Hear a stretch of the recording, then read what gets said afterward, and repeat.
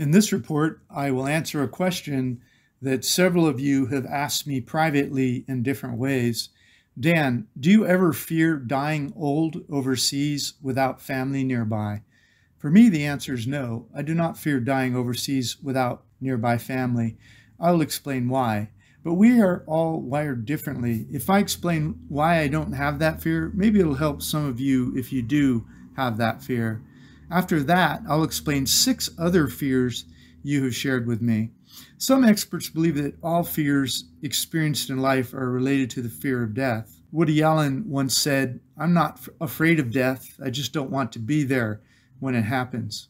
My view is that almost all human fears have the fear of death as the underlying root fear. So if you can figure out how to handle your fear of death, many of your other fears might also be reduced greatly. I believe that people are more afraid of death than many other fears because they have no idea what dying will be like. So the fear of death is really a fear of a permanent condition that people don't know anything about. You cannot control the timing or circumstances of your own death, so you fear it. People may believe something happens at death, but beliefs do not hold the same power in reducing fears when compared to personal knowledge and experience.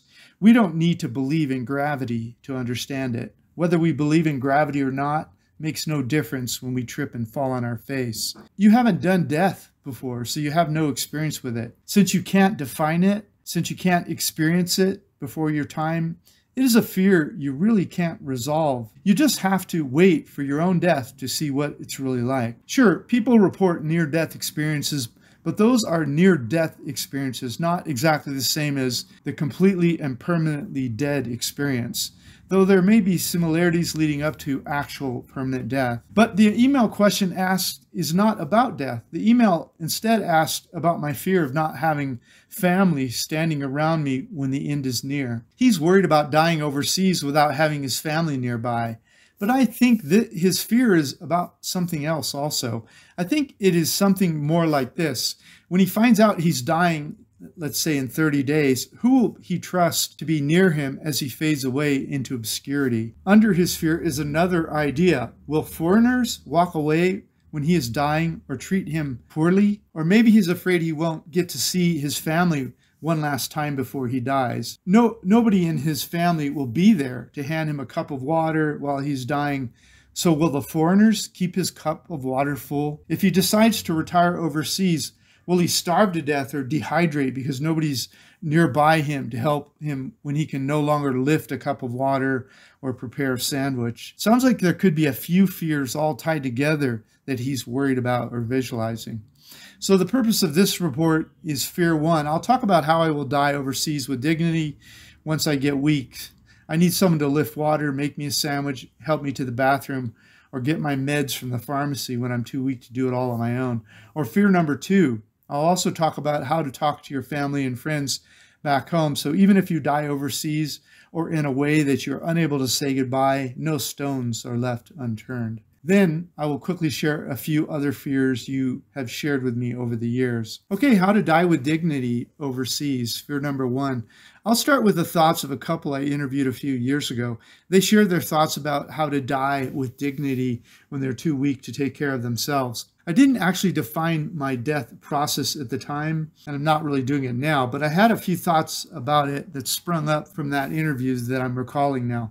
This couple had decided they didn't want their family taking care of them on their deathbed. They had decided that if anyone wanted to come by and visit during their last few months of life, family or otherwise, from their home country, they didn't want to burden them with the daily grind of taking care of them.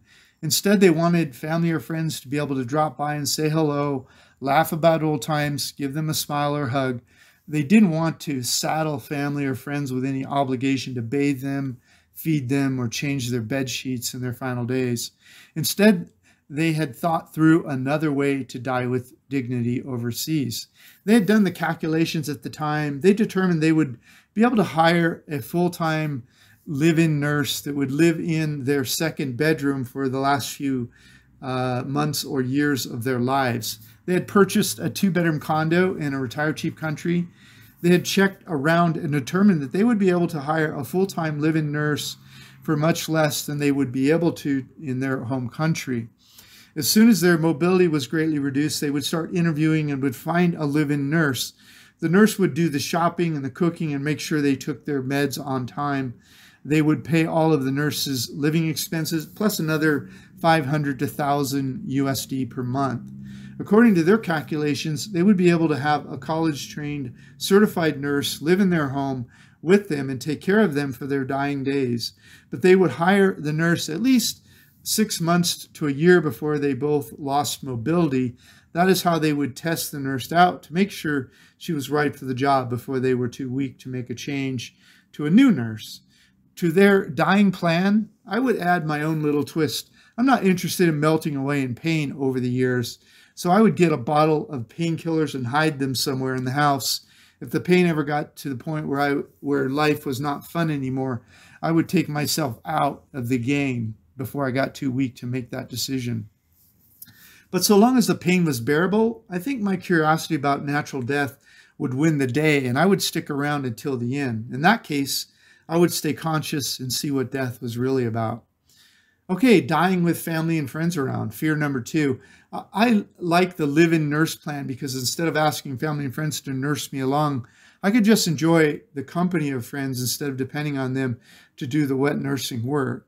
So any family and friends that I decide to that decide to fly over and say goodbye once I knew my approximate expiration date could do so with no obligations of nursing for me. Also, very few of us have such control over the circumstances and timing of our death. So we need to make sure that everyone that has important, you know, that was important to us in life gets to see and hear from us often enough so we feel complete if they or we die suddenly without notice.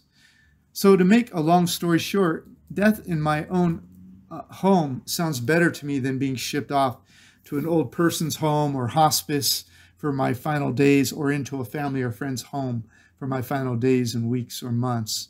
Since it's so much cheaper to have a live-in nurse or daily drop-by nurse in many of these retired cheap in paradise locations than it would be in my home country, the U.S., I would be able to hire someone to feed me, wipe my butt, and send me off to the hereafter.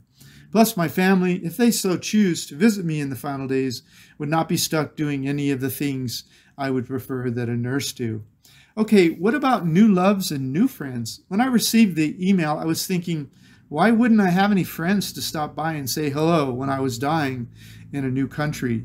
Presumably, I will have lived in my new country for 10 or 20 years before the time I die, right? Why are we assuming I wouldn't know anybody in the new country that loved and cared about me after a decade or so? If I was living in some new country and hadn't found new love in my life, or I hadn't brought love with me, wouldn't I just move back home in any way before I was on my deathbed? So, so there seem to be some unrealistic assumptions in the question itself. Okay, what are some of the other common fears that people have about retiring overseas? Death without family and friends nearby is not the only fear people have about living in overseas retirement. Let me mention a few more. How do I know all these fears? Because people ask uh, me about them. You see, I left the US over 15 years ago, and I've lived in or visited 67 countries. I travel all over the world, and I make videos about my favorite places to retire cheap in paradise. I write reports about each of my favorite places in each country. I also teach people how to make money online by sharing information about their favorite hobby. Visit vagabondbuddha.com if you'd like to learn more about what I do. I have experienced many of the fears you're worried about and thought my way through how to deal with other ones if they were to happen. I get questions all the time from people considering retiring overseas. I will share a few of their other questions first, then I'll share my thoughts and how I've managed those fears over the last 15 years. But my thinking is not the be all or end all for any of these fears. There are millions of people that have left their home country and live overseas. Some of the smartest ones even watch this channel and will comment below on whether they agree or disagree with my thinking. So make sure to read their comments below. I jumped out of an airplane once, but I could only overcome the fear of death and jump after I had more information. I needed to understand the risks and the backup plans. The fear was useful because it got me to pay close attention during the pre jump training. In the pre jump training, I learned that skydiving was safer than driving to work in the morning. That means that you're more likely to die every time you get in your car than you are when you jump from an airplane. I also learned that backup plans, such as the backup parachute. So before you jump out of your home country, just make sure you have enough fear to understand the main risk and to think through your backup plans so your fears do not happen. And if they do, you're prepared to deal with it. Here are a few more fears some of you have expressed with me. More fears of retiring overseas. Will I like my home in a foreign country? Will I be safe in a foreign country? Will I get lonely in a foreign country? Will I become homeless in a foreign country? Will I run out of money in a foreign country? Will my lover leave me if I run out of money in a foreign country? In your home country, you have already resolved these fears one way or another, but you begin to think of these fears again when you consider moving overseas. Will I like my home in a foreign country? The way I killed this fear was by going to a target country and seeing where I could afford to live, where I could afford to eat, and what entertainment I would be able to afford on my target budget. In other reports, I explain how you should never move anywhere outside your home country until you have done an exploratory visit. Here's my report on that, link provided. Once you see and taste the foods in the grocery stores and restaurants, you'll know firsthand whether or not you'll like the food. Once you see where you're going to live on your budget, you'll reduce the fears you have about your new home. In fact, many of the fears will be reduced when you complete your exploratory visit that I explain in that report. Will I be safe in a foreign country? You can read about that online, but you also need to go there and see if you feel safe. Here's my report on how I think about safety overseas. Okay, will I get lonely in a foreign country? This will depend on a number of factors such as your personality type, what country you pick, what languages you speak, and your compatibility and integration with the local culture. Further, in some parts of the world, some foreigners are treated better than the locals. To fully understand the nuances of this question, you'll need to meet and talk to some of the local expats living in your target country on your exploratory visit. You can also tell by how open and friendly the locals are to you when you visit. For more on this and other factors about the fear of loneliness, read my report, Traveling Four Years Alone. Were You Lonely? Okay, will I run out of money in a foreign country or will I become homeless in a foreign country? Once you brush the dust off the top of these two fears, you'll realize they're almost the same thing. Overcoming these two fears is all about proper financial planning and telling the truth to yourself once you're on the ground in a foreign country. It all starts with the exploratory visit where you need to gather budget data such as rents, groceries, transportation, utilities, restaurants, alcohol, and other daily expenses you have presently in your home country. Then you have to set a budget for each category and stay within budget while living overseas. I've also have a report where I talk about setting a budget, having emergency savings, and pulling the safety parachute when your emergency savings falls below a certain threshold. To slay these fears, try checking out my reports, the two biggest risks of retiring early overseas. I would also add monitoring the new biggest uh, risk, inflation, so you're not caught with your pants down overseas. Finally, will my lover leave me if I run out of money in a foreign country? If you want to remain in control of your finances, this report shares ideas about how to keep a distance between your resources and your new love so you can still afford retirement if love goes bad. And read my report, How to Avoid Con Artist Lovers in Overseas Retirement. Okay, thanks for reviewing my report, Dying Old Overseas without family nearby.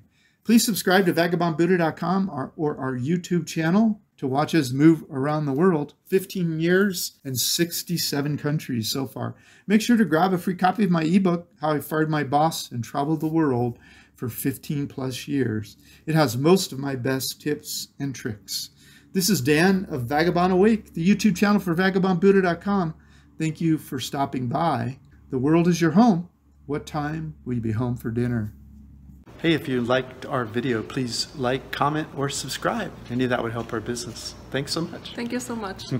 Click the link in the notes below this video to get a copy of this content. Plus, grab a free copy of my ebook, How I Fired My Boss and Traveled the World for 13 Years.